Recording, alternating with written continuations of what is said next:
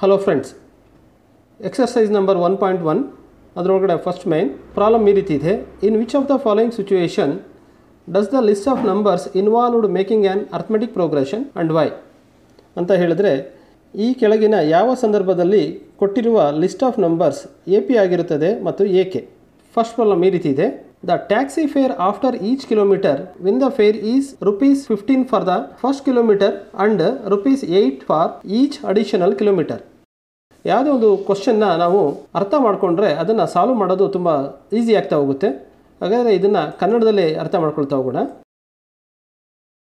ಕನ್ನಡದ ರೂಪ ಈ ರೀತಿ ಇದೆ. ಒಂದು ಟ್ಯಾಕ್ಸಿಯ ಬಾಡಿಗೆ ಮೊದಲ ಕಿಲೋಮೀಟರ್ಗೆ ರೂಪಾಯಿ ಹದಿನೈದು ಆಗಿದ್ದು, ನಂತರದ ಪ್ರತಿ ಕಿಲೋಮೀಟರ್ಗೆ ರು ಎಂಟರಂತೆ ಇರುತ್ತದೆ. ಇದನ್ನು ನಾವು ಪಿಕ್ಚರ್ ಮುಖಾಂತರ ಅರ್ಥ ಮಾಡ್ಕೊಳ್ಳೋಕ್ಕೆ ಪ್ರಯತ್ನ ಮಾಡೋಣ.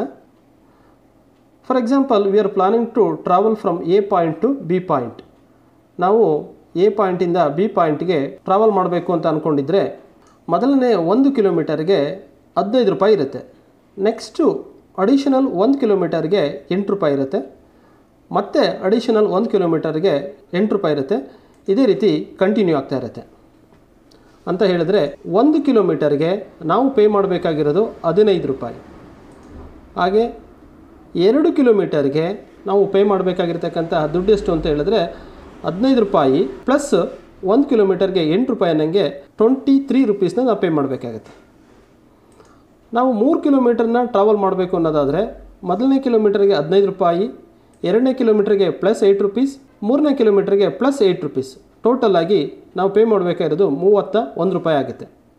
ಒಟ್ಟಾರೆ ಹೇಳಬೇಕಂತ ಹೇಳಿದ್ರೆ ಪ್ರತಿಯೊಂದು ಅಡಿಷನಲ್ ಏಯ್ಟ್ ಕಿಲೋಮೀಟರ್ಸ್ಗೆ ನಾವು ಏಯ್ಟ್ ಏಯ್ಟ್ ರುಪೀಸ್ನ ಅಡಿಷನಲ್ ಆಗಿ ಪೇ ಮಾಡ್ತಾ ಹೋಗಬೇಕಾಗುತ್ತೆ. ಹಾಗಾದರೆ ಪ್ರತಿ ಹಂತದಲ್ಲೂ ಕೂಡ ನಾವು ಏಯ್ಟ್ ಏಯ್ಟ್ ರುಪೀಸ್ನ ಅಡಿಷನಲ್ ಆಗಿ ಪೇ ಮಾಡ್ತಾ ಇರೋದ್ರಿಂದ ಇದು ಎ ಪಿ ಆಗುತ್ತೆ.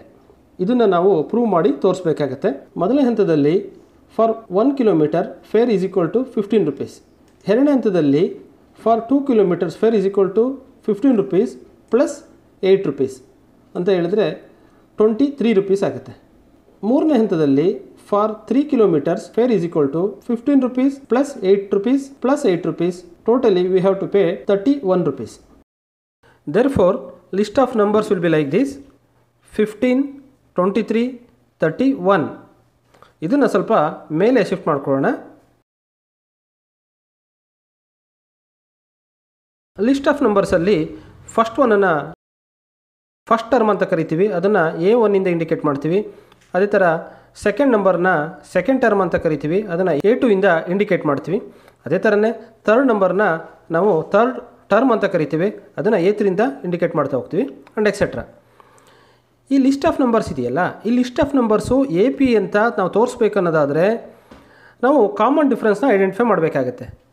ಫಸ್ಟು ಟೂ ಟರ್ಮ್ಸ್ದು ಕಾಮನ್ ಡಿಫ್ರೆನ್ಸ್ನ ಡಿ ಒನ್ ಅಂತ ಕರೆಯೋಣ. ಅದೇ ರೀತಿ ನೆಕ್ಸ್ಟ್ ಟು ಟರ್ಮ್ಸ್ದು ಡಿಫ್ರೆನ್ಸ್ನ ಡಿ ಟು ಅಂತ ಕರೆಯೋಣ.